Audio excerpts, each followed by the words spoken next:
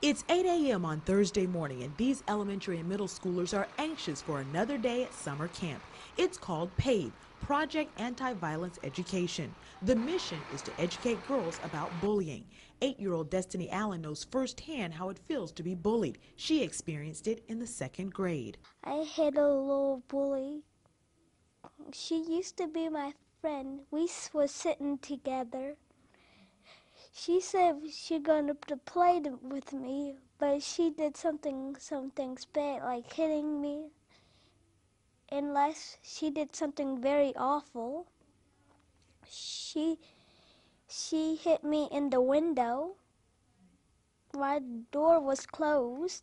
Destiny's mother, Wanda, admits it's scary to learn your child is being bullied. She contacted school officials and stopped the problem immediately. She's grateful to the Girl Scouts of Central Maryland for hosting the camp. I think the girls have learned a great deal. They've gotten to do some awesome activities.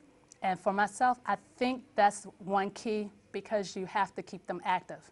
The more active they are, the less they're able to have idle time to try to harm one another. During the week-long camp, girls enjoy a variety of small group activities while learning about the impact of bullying, sharing their experiences, and learning to get help. This program really uh, allows the girls to learn about um, what bullying is, how they can help to um, stop that, but also how they can really become leaders in their own right. I've learned that you should never be a bully, and I learned that if somebody come up to you and try to bully you, you need to tell three adults. By getting adults involved, not only does the child get help, but the bully may also need help with self-esteem or problems at home.